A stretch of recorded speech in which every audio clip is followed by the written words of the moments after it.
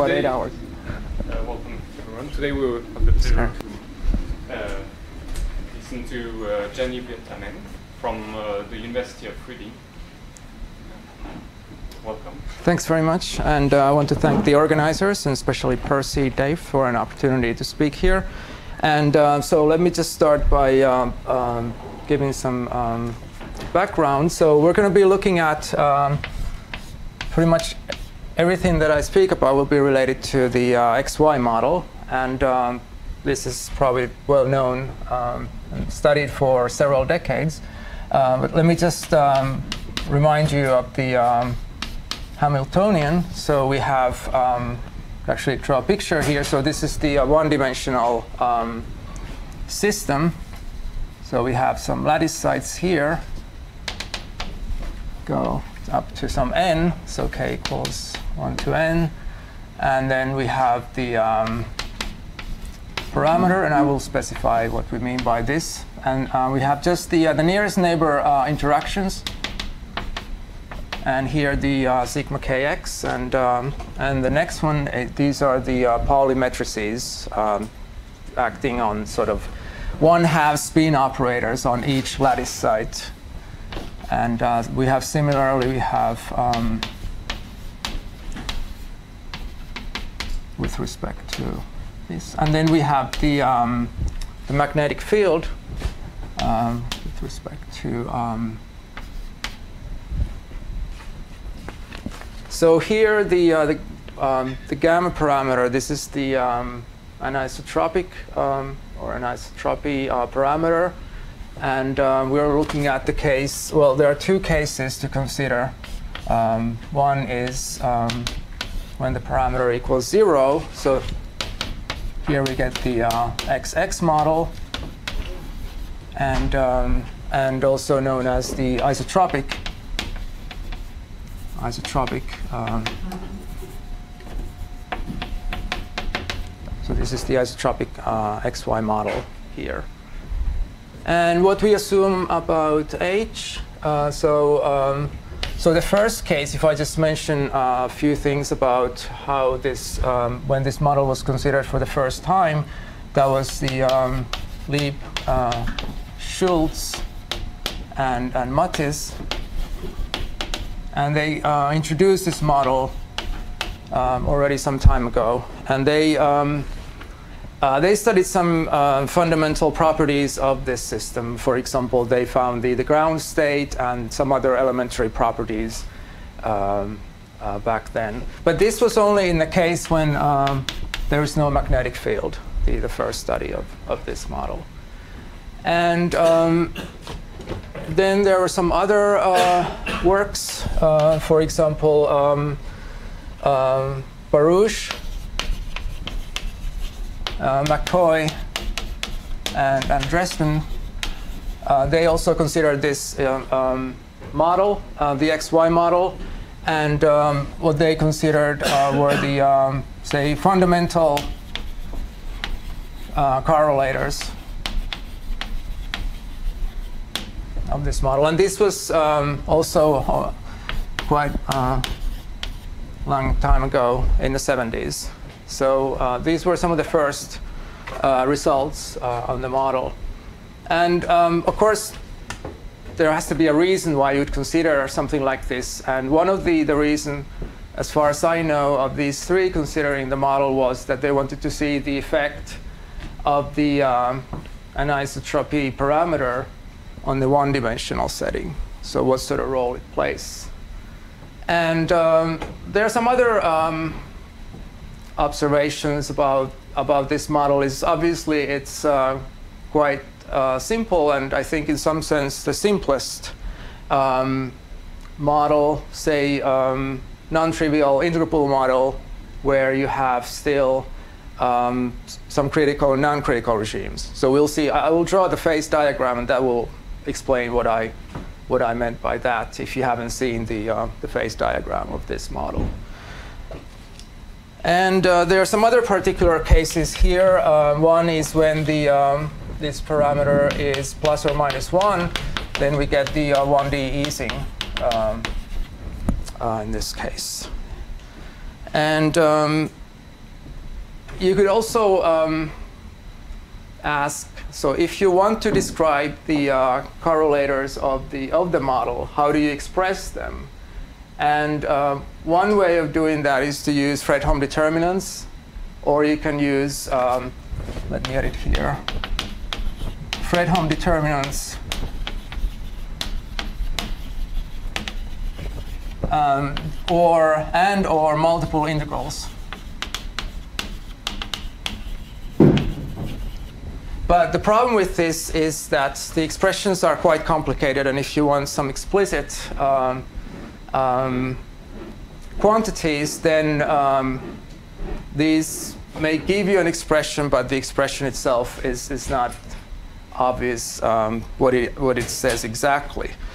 Um, so I want to mention uh, one other correlator. Um, I'll continue here a little bit more.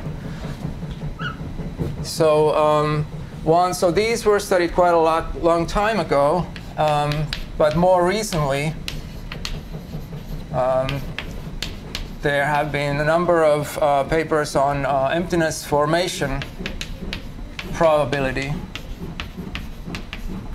So this is EFP. And what that tells you, if you denote that probability by Pn, this will tell you the, uh, the, the, the, probability that you have n consecutive um, uh, spins with the same orientation, all pointing down or usually so pointing down.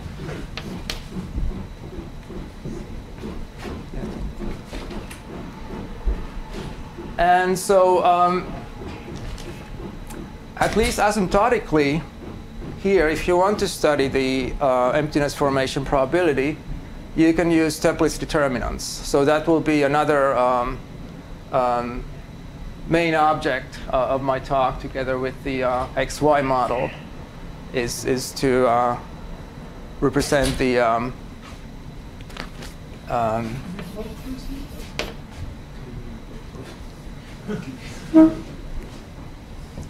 so this is, um, you can very effectively study the emptiness formation probability uh, using Toeplitz determinants. And um, so let me denote Toeplitz matrices by um, capital T sub n. And then we have some uh, symbol. Um, and it should relate to the, uh, so let's say that the um, anisotropic, uh, anisotropy uh, parameter is given. And then we have here depends, dependence on, uh, on the magnetic field. And so. Could, could you just say again what the emptiness formation is? Yeah, so this will give you the, the probability of uh, having n consecutive. Um, so where is the picture? So n consecutive uh, spins with the same orientation. So for example, pointing down, uh, what's the probability? And um, and this is of course, um, well, those of you who know um, uh, the, uh, the theory of Toeplitz determinants, um, what we can do here quite effectively is to find the asymptotics. So let me just try to distinguish between n and h. Um, so for fixed h, this is something that you can um, compute easily by using um, old results. So let me um, here draw the phase diagram and also give you the expression of the um, of the of the symbol that generates a Toeplitz matrix. And I guess I should also uh, let me put it here to say what Toeplitz matrices are. So if you have a symbol F, then uh, this is simply the matrix whose um, diagonals are constant. J and K are both uh, non-negative. Um, say, an n by n matrix. Um, so this has been studied for more than, um, more than 100 years, and a lot about the um, determinants of Toeplitz matrices are now understood really well. Um, and this connects with those classes of symbols that are well understood. So here we have uh, theta as a parameter, yeah, one, one half, and then we have uh, cosine theta minus h plus i, and then the uh, gamma parameter sine theta divided by um, cosine theta minus h squared plus gamma sine theta squared. And then we still have to take the square root and multiply by 2. Now, if you look at this, you can see uh, immediately one thing that um, if this, um, if H, uh, the magnetic field, um, is less than minus 1, so let's put that here on the uh, imaginary axis. So let's say this is 0, and then we have uh, minus 1 here. So if h is less than minus 1, then it's easy to see that uh, sigma h is, is smooth. It's actually analytic. Uh, it has no zeros. That's also obvious. And it has no winding. And for such symbols, we can simply apply uh, the Strong-Szegő limit theorem, and we get the answer of um, uh, asymptotic uh, result in Pn. So that's one case. Let's denote that by sigma minus. So this is a non-critical um, uh, region here below the, uh, the line minus 1. And then we have uh, two other cases is when um, h is, so the second case is when h is between uh, minus 1 and, um, and 1. And here uh, the, the, the, situation gets more complicated. In, in that case, what is the answer? Does the probability go to zero or what? Um, in the first case? In the first case, um, it should be, um, that's a good question. So when you compute the, uh, the asymptotics of Toeplitz, I thought it would be non-zero. Um,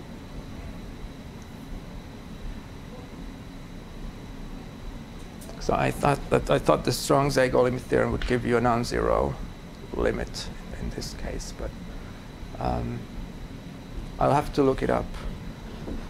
Um, and um, in the second case, uh, there you get a singularity, which is also, um, you, you, can see quite easily that if, if you look at the expression um, sigma h, uh, then um, this has one uh, Fisher-Hartwig singularity. And uh, the, uh, the singularity is at, uh, let me just quickly mention that, um, at minus 1. So let me uh, draw here a picture too.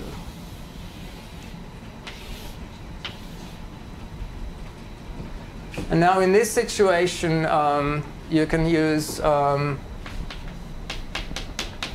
Fisher-Hartwig asymptotics. And you get the uh, again the answer, the asymptotics of um, of Pn uh, for large n. Um, but I should have looked up the the actual um, um values. Um,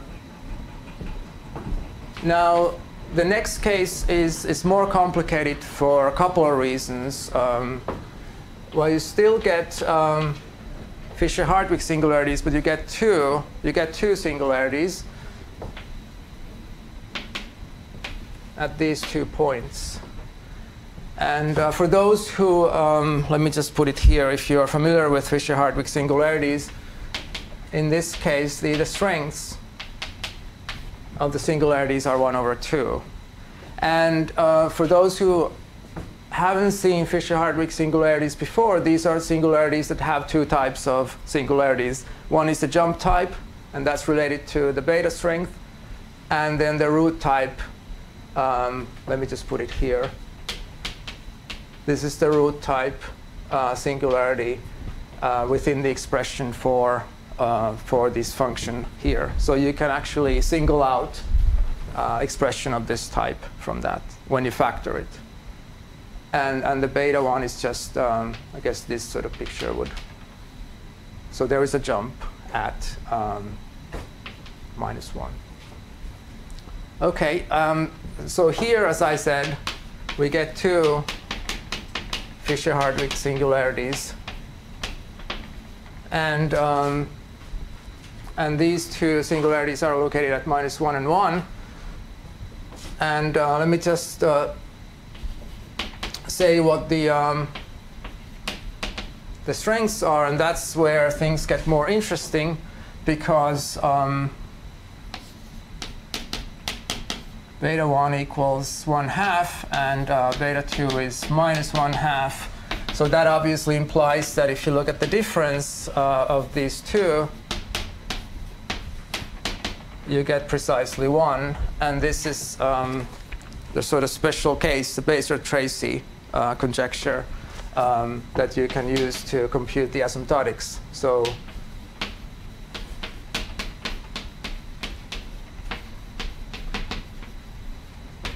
And this is the conjecture that was, uh, um, well, I think it was partially solved before Percy's work with Igor Krasovsky and uh, Alexander Its, but uh, sort of complete answer was given um, in 2011, I remember correctly.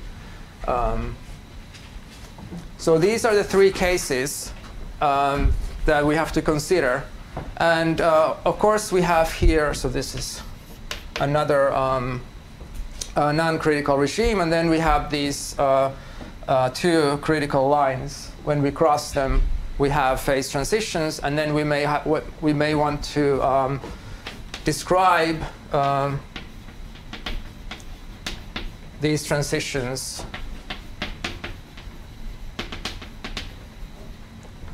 And these can be nicely uh, studied using um, um, some recent work. So this involves um, now looking at uh,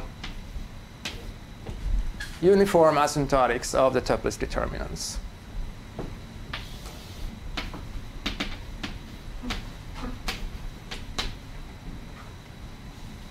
Which means that um, if you are sufficiently close, um, say if you are looking at uh, the first transition, so then you have H is um, very close to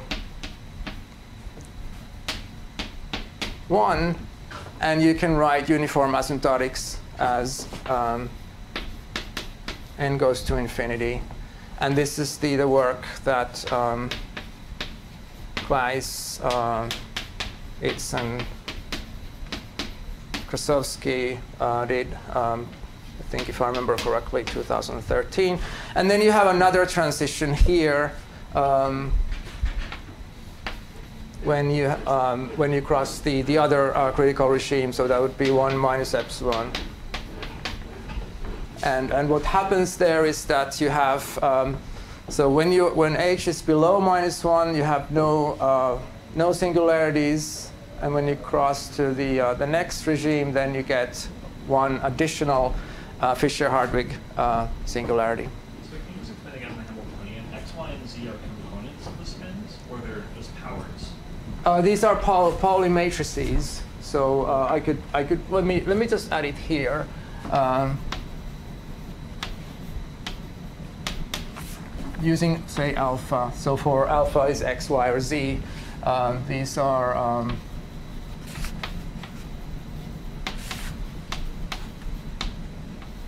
So these describe the, um, I think you call them one-half spin operators acting on each um, um, site um, of, of the system. Okay. And here, uh, so here there's a, a, slightly more complicated situation. There is again an emergence of a singularity. And the singularity emerges right here. But in addition to that, um, there is one fixed singularity because when you go from this non-critical, you already have one fixed singularity that does not depend on the parameters h. And then when h goes to the critical value, then you get one more.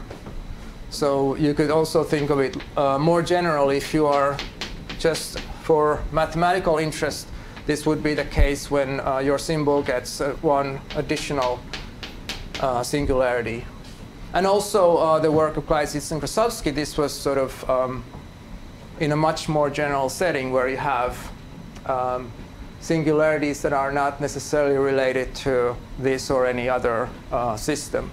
But it does also cover the, um, uh, the 2D Ising model, uh, their work, which, is, which I don't have time to discuss here, but that's... These results, A, B, and C, are they for all values of gamma or gamma? This is gamma is positive. So this is in the um, non-isotropic case. So gamma should be positive. Um, so I should have said here. So let's suppose here that gamma is is positive. And uh, here you get so But not equal to one, the- or uh, um, so that's of course the um, the um, 1D Ising model case. Um, this is the uh,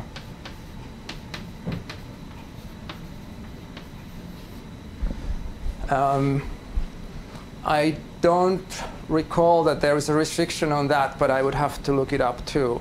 It's, it's, things do get more complicated when you want to express this uh, particular symbol um, in the form of the Fisher-Hartwig singularities in, in, in this uh, case uh, C.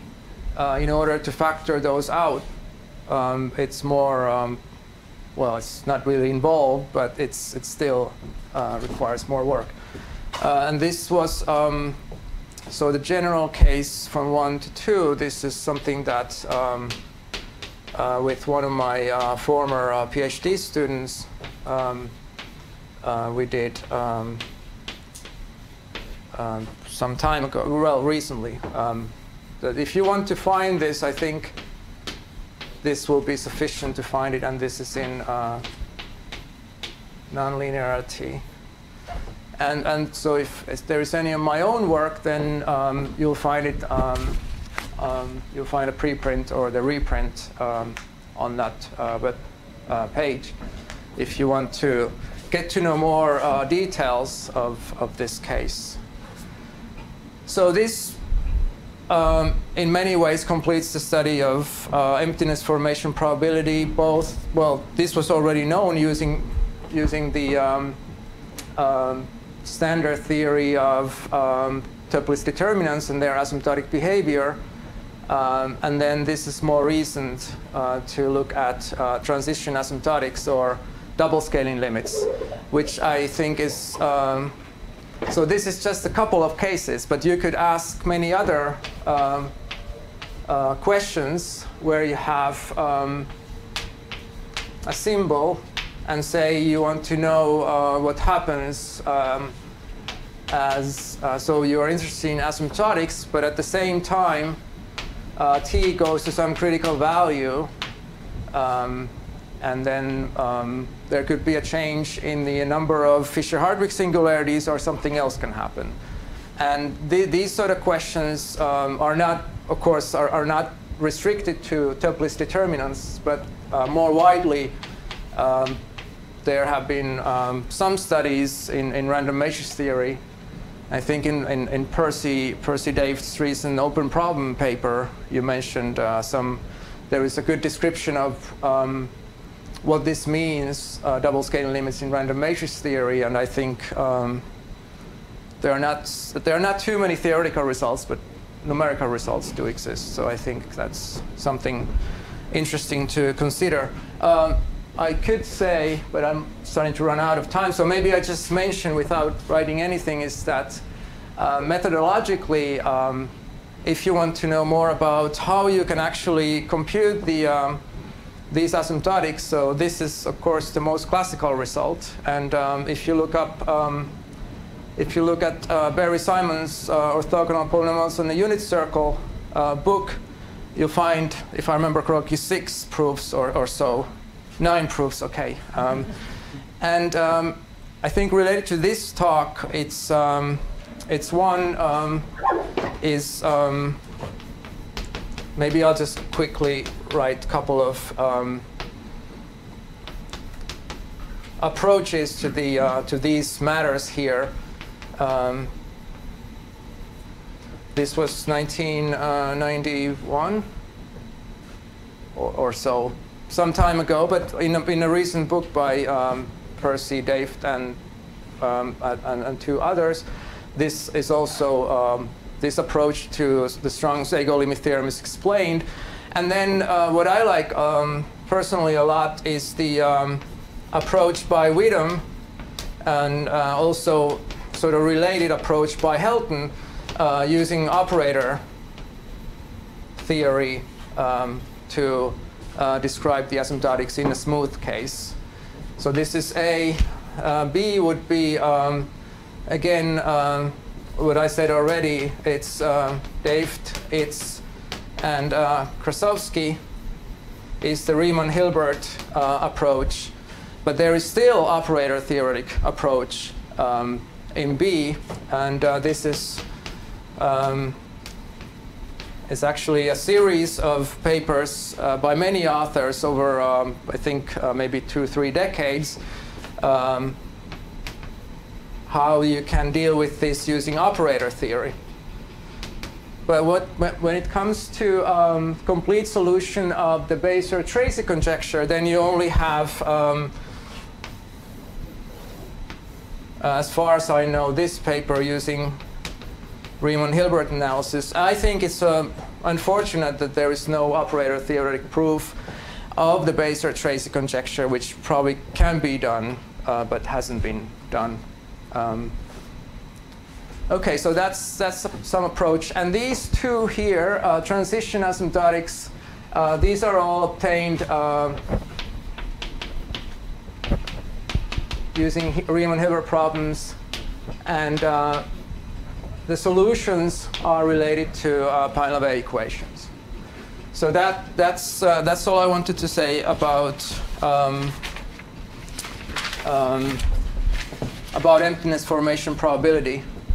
And the next uh, topic is the um, entanglement. And so I'm really, um, so what we have done, we have um, computed um, uh, what is called the limiting entropy. So we have, so when you measure entanglement, you can measure it in different ways. But uh, the situation we have looked at is the um, is actually the isotropic case. So the XX uh, model. Um,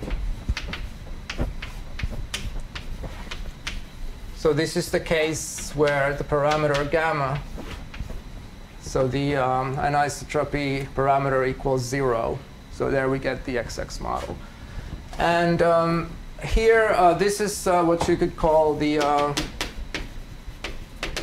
bipartite system.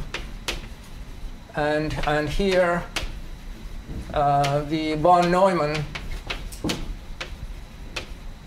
entropy um, is um, um, I guess I could say the most commonly used. Maybe you could argue it's the best way to measure uh, entanglement in this particular situation. And um, so I don't want to get into uh, discussing entanglement, but um, I thought of just mentioning um, one thing um, when I was looking at before uh, before the, before the talk, which I thought was interesting, is the the, the first um, image of the um, entanglement um, uh, was just recently um, done in the University of Glasgow.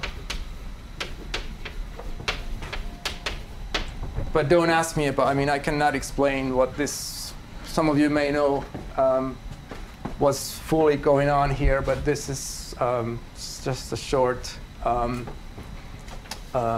announcement of something that you can find more about if you are interested. And then, if you go way back, um, uh, you also have the um, Einstein. oh, forgot the name.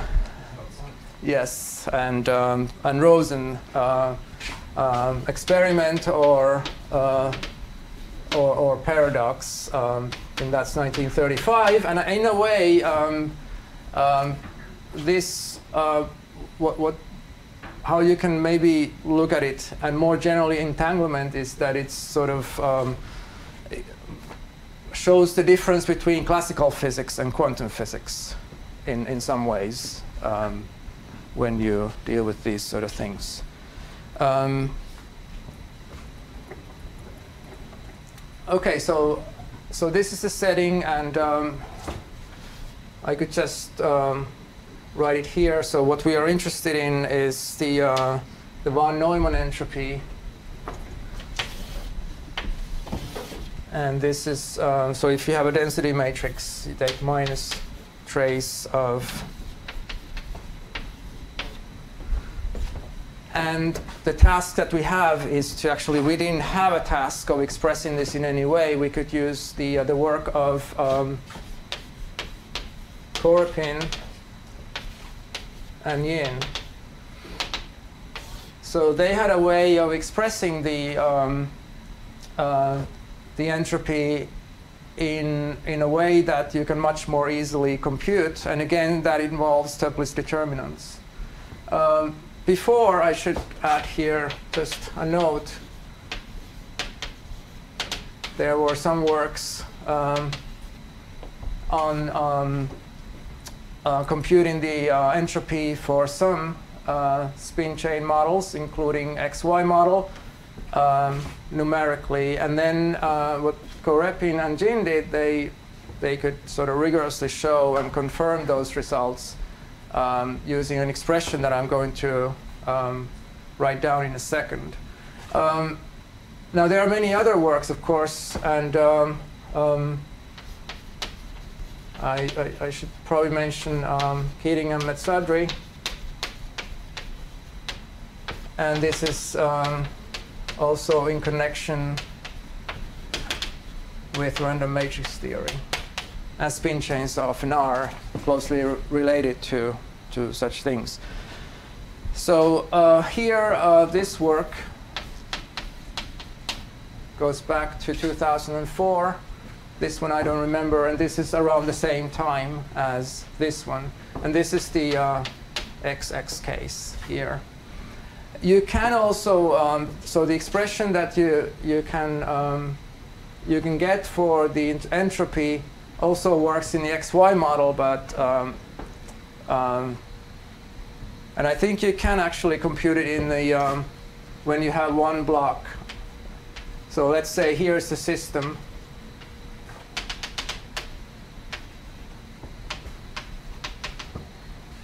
And, this could be uh, an A, and then what the rest here is B. So this is the situation that has been that was studied by uh, Korepin and Jin. So you have a system that consists of two. Well, you have basically one block, and then you have the rest of the system, and then you want to study the mu mutual information between um, between this block and the rest of the system. So that's what they did. And um, there was one more result involving this situation of one block and the rest of the chain, uh, where it's, and then Korepin and Yin, um, or, or Jin, uh, considered in the XY case. So a natural question once you have results on this type of um, um, subsystem of consisting of one block is to consider what happens if you have two blocks and some gap between them. So let me uh, indicate that next. Say we have uh, m particles, and then we have um, some gap that consists of uh, k particles. Maybe I'll denote it like like this. And then you have, um, so here we would have m plus k plus 1 going up to m plus k plus n, and so on. So now we have this gap, and um, ultimately what we would like to do is to um, compute entropy again um, the limiting entropy when m goes to infinity and n goes to infinity, and also the gap uh, goes to infinity. So that would be what, what, what one would like to do. Um, And uh, this is, so I think I have some time to show what that involves. Um, uh, the computation of, Could you just say a little bit more about what, what entanglement is, say, for this AD system? What is it? Um, so entanglement, I mean in, in general, so that, that Just for that system, what are you actually computing? So um, maybe if I express it, and then I kind of can try to uh, explain that uh, what what that means in.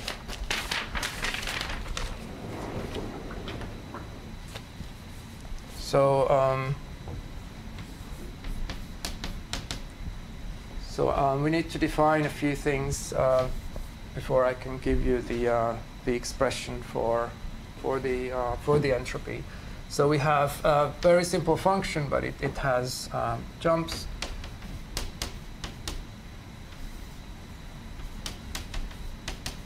And it's minus one otherwise. And uh, then obviously um,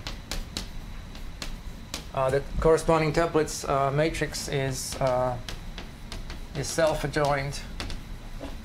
And we also know that its spectrum is contained in minus 1, 1.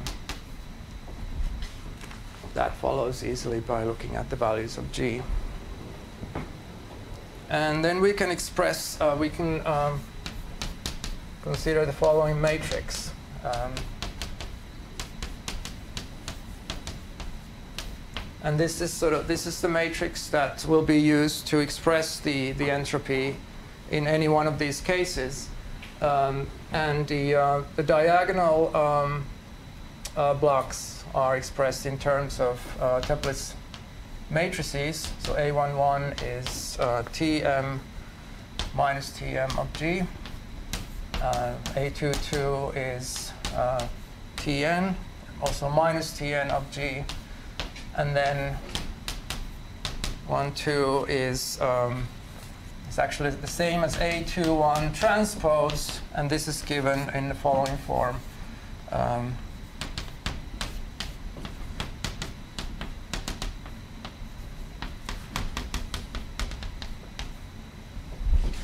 and this really demonstrates um, the, the, problems that you encounter if, you, if, if k goes to infinity or if k is large.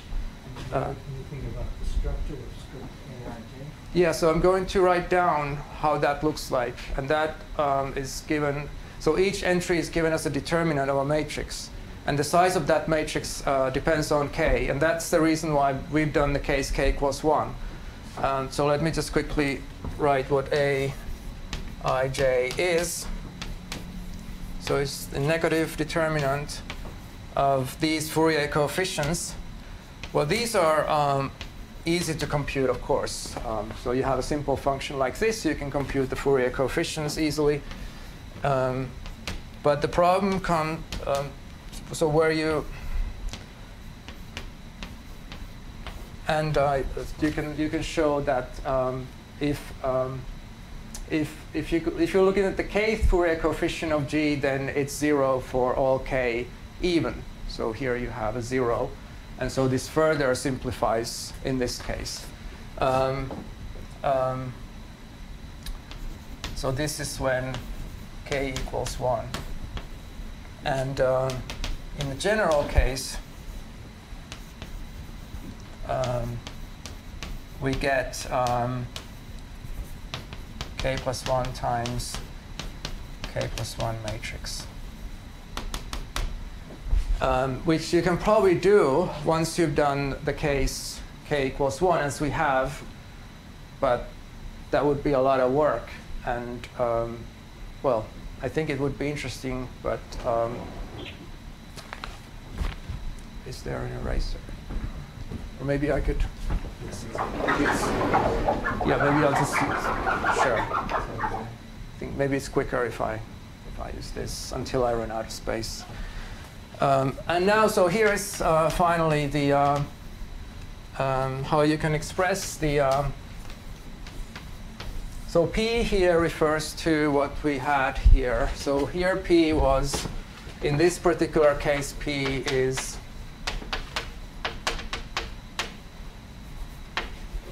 That's this one interval. And in this case, uh, P consists of two intervals. So you have one to up to M. And then you have the other piece here, which is M plus K plus 1 up to M, M plus K plus N. And uh, the expression that you get is the following. Um, this has an integral that needs to be computed. I will um, um, describe the, um, um, the contour of integration in a second, but let me just first uh, write here what we, what we get in what uh, Jin and Korepin did.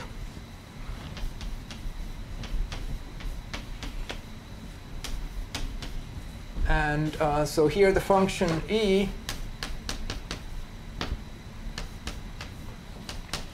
is the following.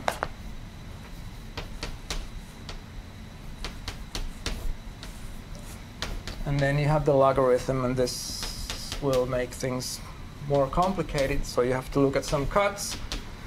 And um, minus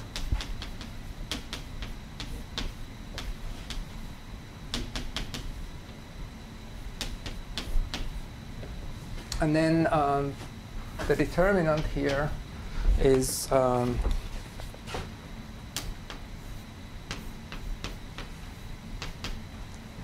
is the determinant of lambda minus a, and a is the matrix given here.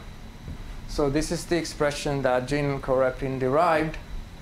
And then uh, using, so this one you can, in the case of one interval, you can uh, compute this uh, much more easily than when you have two intervals.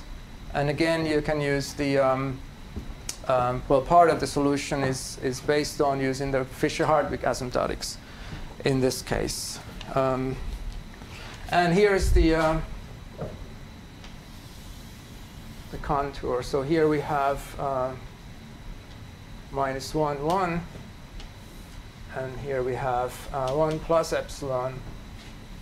And here we have minus 1 minus epsilon. And we have this orientation. And you can, you can for example, take, um, so if you fix your epsilon, then you,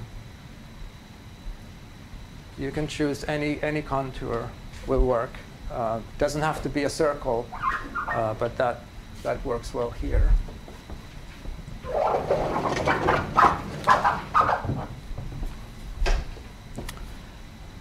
Now, one more thing that um, Jin and Korepin did was that um, you can um, express, so here this refers to the case in which you have n number of particles in the system. Um, and then the rest of the system is just the remaining particles. And uh, so you get exactly the same as what we have here up to the uh, logarithm, which is now the, uh, determinant with the following symbol so we have um, the function g plus lambda.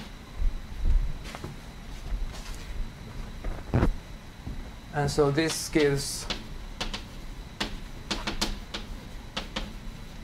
the entropy um, of, of the system.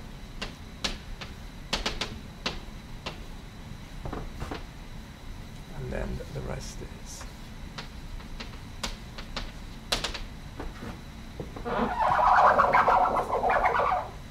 Now, what do you get in the one interval case? Actually, the number. Um, um, let me see if we can. So, we've done the two interval case, and um, so what you want to find out is the. Um, so you want to compute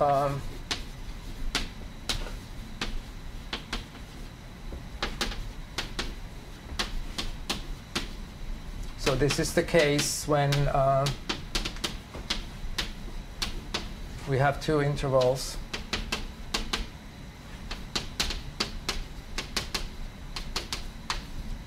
So how you can um, look at this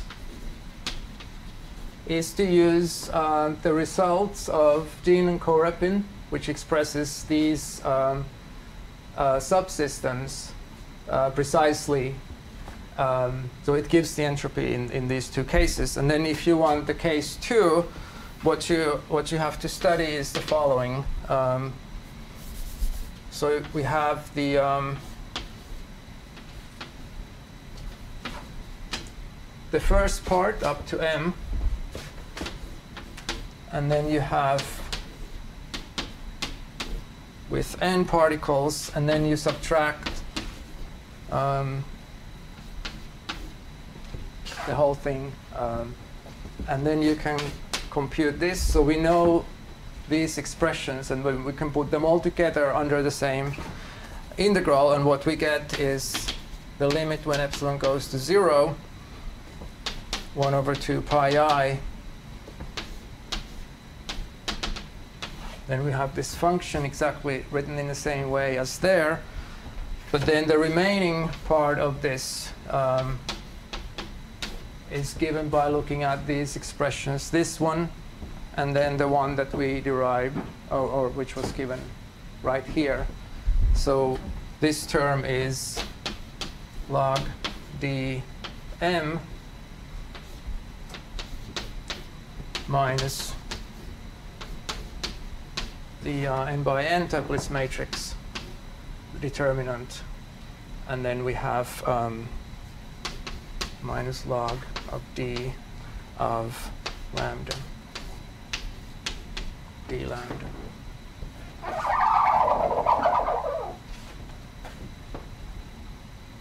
So once, once we have this expression, now we want to compute the limiting entropy, so we have to take the limit both n and m go to infinity.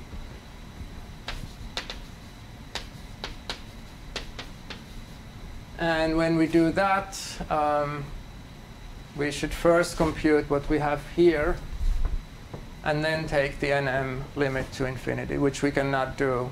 So what we end up doing is um, is this. So this is a part that is, is not completely rigorous, but this is what one would expect for the, um, for the entropy. And um, about how one can compute this, um, one approach which we used is to express what we have here um, in terms of um, integrable operators. And and that involves the inverse of the Toeplitz matrices that um, we have used here. So I could actually quickly um, quickly quickly write that down. So this part here, this you can write as the logarithm of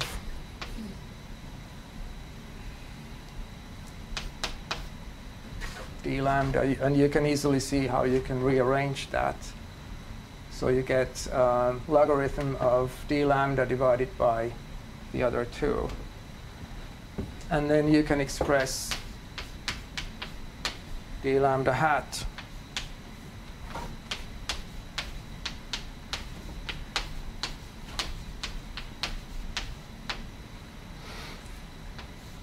as the following in inner product.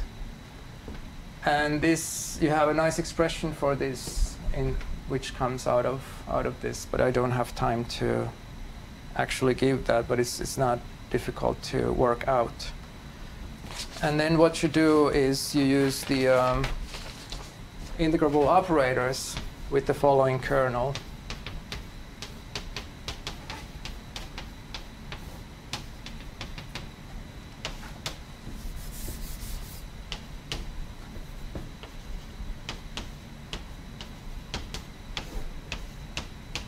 So there you have a singularity.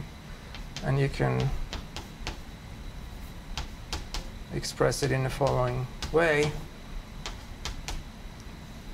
And then, well, you have just the integrable operator with that kernel integrate over the circle and um,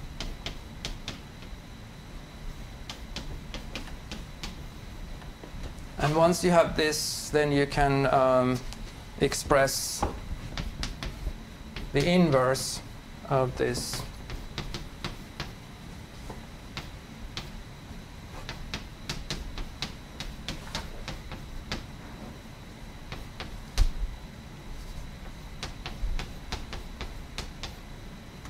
And that's how you get the um, um, what is often called the uh, YK Riemann-Hilbert problem.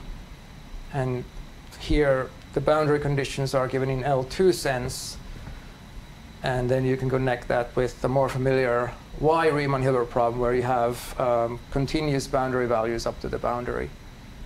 And then the final, one of the final steps is to, to um, connect it with the R Riemann-Hilbert problem, and then you have the um, local and, uh, and global parametrices, and that will give you a solution, and then you go back and sort of, well, this is very vague and quickly description, but there's, to, to carry out the Riemann-Hilbert analysis, that's, that's um, well, a lot of work, and it's quite complicated. So thanks very much. I think my time is up, right?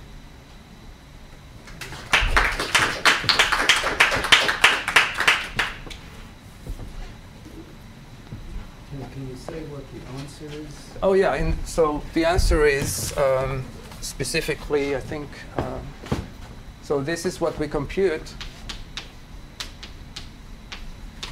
and that this is what we get, and um, that that's the that's the specific answer. We haven't. Um, so as I said before, there were numerical studies of these, and I don't know if you can use, if you, if you can actually evaluate them in the XX case and compare this.